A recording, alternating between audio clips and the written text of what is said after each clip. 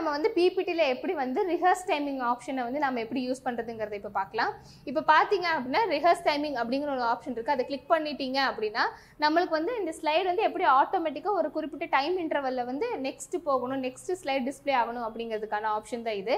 இப்போ வந்து first slide show வந்து நம்ம ஒரு ஃபைவ் செகண்ட்ஸ் வைக்கிறோம் அப்படின்னு பார்த்தீங்கன்னா ஃபைவ் செகண்ட்ஸ் வச்சுட்டு நெக்ஸ்ட் கொடுத்தோம்னா அங்கே வந்து ரெண்டு கிளாக் இருக்கும். ஒன்று வந்து கரண்ட் ஸ்லைடு வந்து எவ்வளோ நேரம் வந்து டிஸ்ப்ளே ஆகணும் அப்படிங்கிறதுக்கான கிளாக்கு இன்னொன்று வந்து பார்த்தீங்கன்னா ஓவரால் வந்து இந்த ப்ரெசன்டேஷன் எவ்வளோ டைம் எடுக்குது அப்படிங்கிறதுக்கான கிளாக்கு இப்போ ஃபஸ்ட்டு இது ஆப்ஷனை கிளிக் பண்ணிட்டோம் அப்படின்னு பார்த்தீங்க அப்படின்னா இப்போ நம்ம வந்து ஃபஸ்ட்டு நம்ம கிளிக் பண்ணுறோம் கிளிக் பண்ணிட்டோம்னா ஃபஸ்ட்டில் இருக்கிறது பார்த்தீங்கன்னா இந்த ஸ்லைடோடைய டிஸ்ப்ளே இன்டர்வல் நெக்ஸ்ட் பார்த்தீங்க அப்படின்னா வந்து இந்த ஓவராலான ப்ரெசன்டேஷனுடைய டைமிங் இப்போ வந்து நம்ம ஃபஸ்ட் ஸ்லைடுக்கு வந்து நம்ம வந்து ஃபைவ் செகண்ட்ஸ் கொடுத்துருக்கோம். செகண்ட் ஸ்லைடுக்கும் நம்ம அதே மாதிரி ஃபைவ் செகண்ட்ஸ் கொடுத்துக்கலாம். தேர்டுக்கும் இதே மாதிரி நம்ம ஃபைவ் செகண்ட்ஸ் வந்து டைம் இன்டர்வல் கொடுத்து கொடுத்து நாம் வந்து நெக்ஸ்ட் கொடுத்துக்கலாம். ஸோ அதே மாதிரி என்ன ஆகும் அப்படின்னு பார்த்தீங்கன்னா ஒவ்வொரு ஸ்லைடுக்கும் ஃபைவ் செகண்ட்ஸ் வந்து இன்டர்வல் டைம் இன்டர்வல் விட்டு நம்மளுக்கு வந்து நெக்ஸ்ட் ஸ்லைடு வந்து டிஸ்ப்ளே ஆகும்.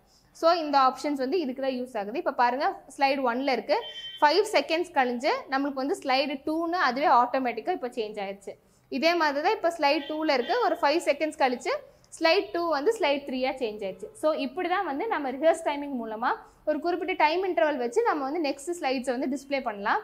ஸோ இந்த வீடியோவில் நம்ம என்னென்னலாம் பார்த்தோம் அப்படின்னு பார்த்தீங்க அப்படின்னா பிபிடியில் வந்து நம்ம எப்படி வந்து ரிஹர்ஸ் டைமிங் பண்ணுறது ஸ்லைட் ஷோ எப்படி பண்ணுறது அப்படிங்கிறதெல்லாம் இந்த வீடியோவில் நம்ம பார்த்துருக்கோம்.